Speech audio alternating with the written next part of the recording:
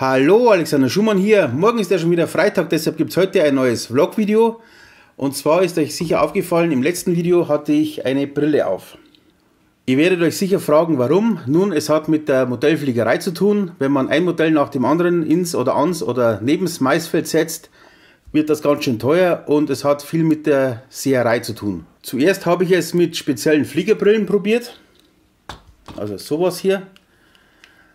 Das war zwar schon besser, aber so richtig gut war es leider auch noch nicht. Beim Autofahren habe ich ja schon immer eine Brille getragen. Im normalen Alltag allerdings nicht. Kontaktlinsen habe ich zwar auch, diese verwende ich aber nur, wenn ich quasi eine Fliegerbrille aufhabe, so wie diese hier, weil da spezielle Brillen geschliffen, die kosten ein Schweinegeld. Also da, da kosten allein die Gläser 300 Euro und das ist ein bisschen, ja, muss nicht sein. Was mich an der Brille sehr fasziniert ist, dass man die Wirkung sofort sieht, im wahrsten Sinne des Wortes. Da muss man nicht lange überlegen, ob man besser sieht, man sieht den Unterschied sofort. Ich kann das mal demonstrieren. Ich stelle jetzt die Kamera scharf, wenn ich durch die Brille schaue.